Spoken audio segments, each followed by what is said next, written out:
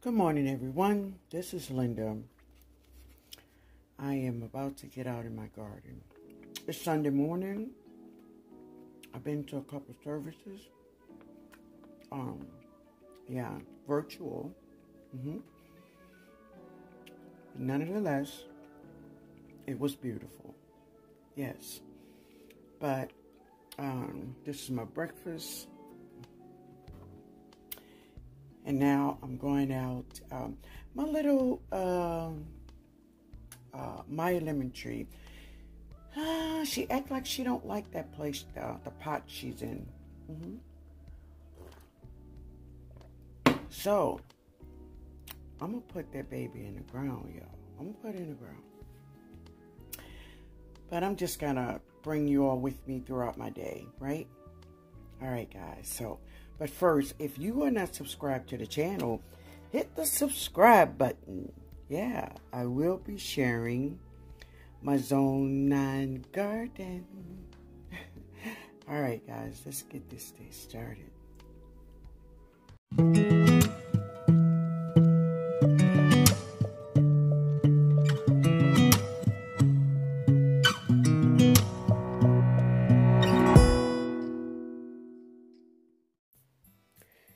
So, guys, it is pretty windy um, here, and I listened to the playback of this video, and yeah, you can barely hear what I say because of the wind. So, because of that, I'm going to do this voiceover. All right. So, this is one reason I like those blue tarps from the Dollar Tree. Yeah. So, it helps me a lot in the garden.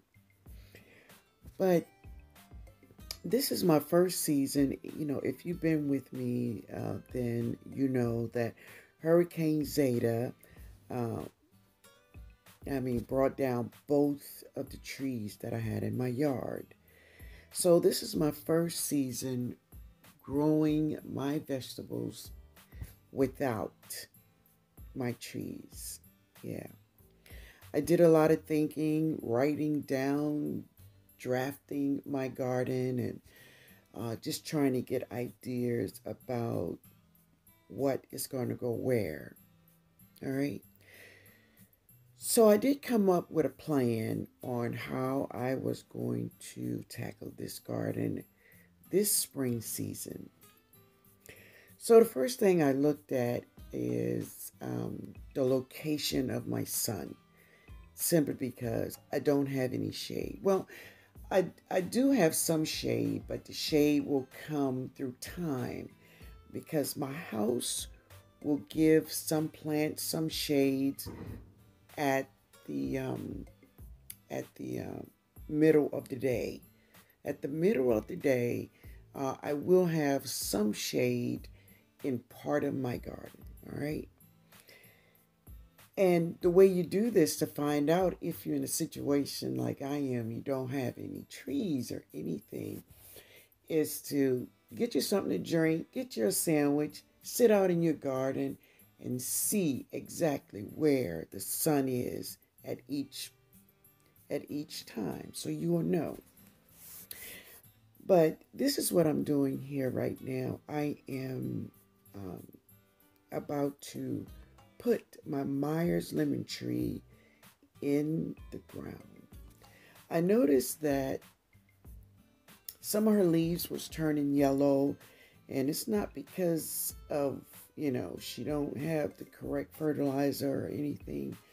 Um, i don't know um, you know if she likes the pot or not. I don't think she like it. So i'm going to put her in the ground and that is the last resort. Now, I'm more than sure she's going to love being in the ground. Um, she's a treat. so, I'm going to take her out of the out of the pot and I'm going to place her in the ground. Yeah.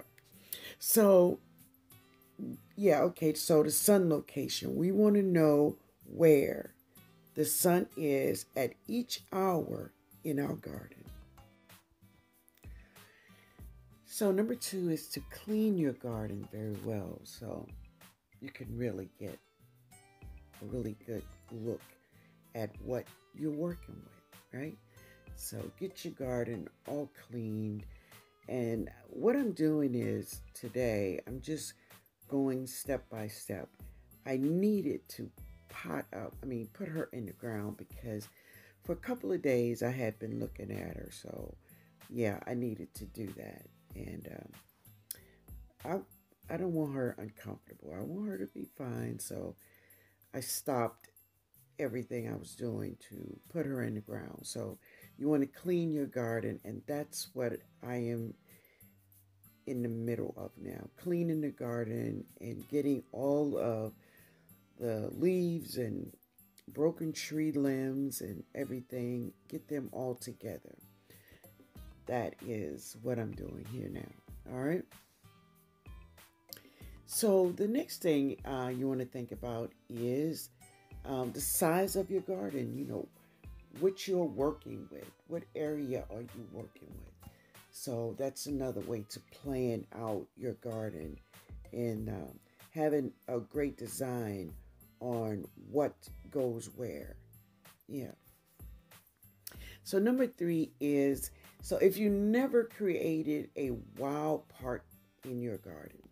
Now, I have a wild part of my garden that I'm going to use part of it for growing um, some melons, but the other part will still remain wild.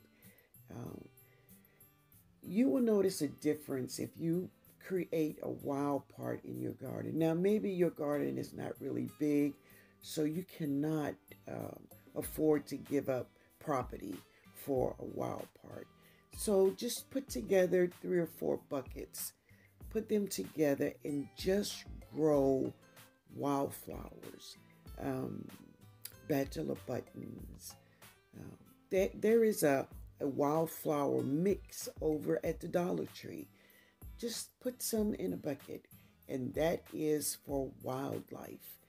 Now, as I said, if you never had a wild part of your garden, you will have some great benefits to that wild part. It will definitely bring in beneficial insects. You will see the difference. Try it. All right? Just try it. okay. But so number four, number four, um, this our garden is our space. This is my space, right? And for that, I want it to be special. Yes, it is definitely there to grow food, but a garden serves more than just food. Uh, your garden will calm you down when you are upset. Your garden will calm you down when you just need a break from the world. So you want your space to be serene and calming. Um, you want it to be um, comfortable, not only for you, for anyone that steps into your garden, you want them to feel this beautiful, beautiful energy. Um, yes, this energy when you step into a garden that is so full of life. Um, you will have that feeling of having all of these beautiful plants around you. Uh, it calms you. You can pray there. Yes, you can definitely pray there. And I love praying in my garden. So, this is uh, what I'm working on today, and this is in front of uh, one of my trees. And uh, I'm going to clean this area very well because this is what you see when you first walk into my garden. So, um, I'm going to uh, drop some seeds in here. Now I put um, topsoil in here and tree limbs and leaves in here. Also, I'm, I'm just going to clean that area. I'm going to drop not only seeds of all kinds of flowers that I have, I'm going to drop bulbs all in this area, all around this tree, but I'm working with one part at a time, right? So um, that is where all, well, not all my flowers, but a lot of flowers is going to go right in that area simply because yeah when i walk out of my garage and i walk around my house that is what i see before i get into my garden. So this is some seeds i'm dropping in this container and it is uh, i think about five or six seeds i dropped in here some uh, black and white bell peppers. I did drop a couple of seeds of tomatoes, some shallots, as Jody would say. And, um, oh yeah, and I dropped some, um, some purple kale. Yeah, purple kale. So I'm looking forward to that. Um, I just wanted to start them in here and, uh, really, I was looking forward to taking a break, y'all. yeah. Okay, so number five is to find out and know where your problems areas in your garden. Like, I have an area in my garden that it stays wet, and that is on the side uh, where some of my um, my banana plants, and those are the ones closer to the house. It, it stays moist over there. So know where your problems areas are. If you have a plant that loves uh, wet soil, that's a great area for it. Um, but if you have some plants that don't, then you know that you cannot plant them there. So also, know where the rain comes off of your house or some structure you have um, in your garden, like a shade or something, you will know where that rainfall falls so you won't drop a seed under that area where you have rain falling. So it's just knowing uh, problem areas in your garden. That's number five, right? I'm looking forward to this growing season. A lot of things I will be doing in my garden. It will definitely going to be new to me, but I'm willing and I'm ready for the challenge. Yes. But listen, guys, I also want to share with you all that today a friend of mine stopped by and he took me to Home Depot and I wanted to go to Target. So in tomorrow's video, I will share with you all what we picked up at those two stores. Yeah, I'm going to share.